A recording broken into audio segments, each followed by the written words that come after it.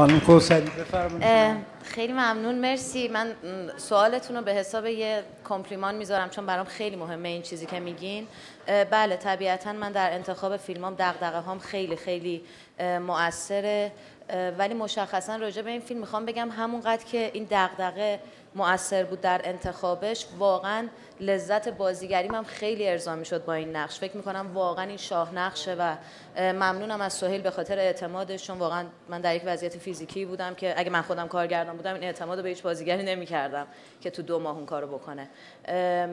می‌خوام بگم جدا از این که فیلم و سوژش خیلی برام اهمیت داشت خود نقش هم همونقدر واقعا اینجا کار می‌کرد برای اینکه من وسوسه بشم بازیش بکنم. وگرنه خیلی فیلم ها هست که نقش رو اونقدر دوست ندارم اما دلم می‌خواد تو اون فیلم حضور داشته باشم. اما راجع به این فیلم اینطوری نبود.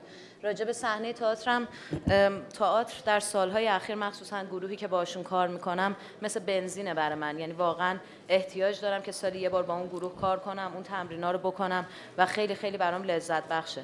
واقعیت اینه که خیلی بی انگیزه بودم نسبت به سینما نقشایی که بهم پیشنهاد می‌شد و خیلی دوست نداشتم. راستش رو بهتون بگم یکی دو تا فیلم فقط برای اینکه در سال یه پولی در بیارم بتونم زندگی کنم بازی می‌کردم. ممنونم که سحر در واقع سهیل مطمئن کرد که من این کارو می‌کنم و باز از سهیل ممنونم که این نقش رو سپاسگزار خانم کوسری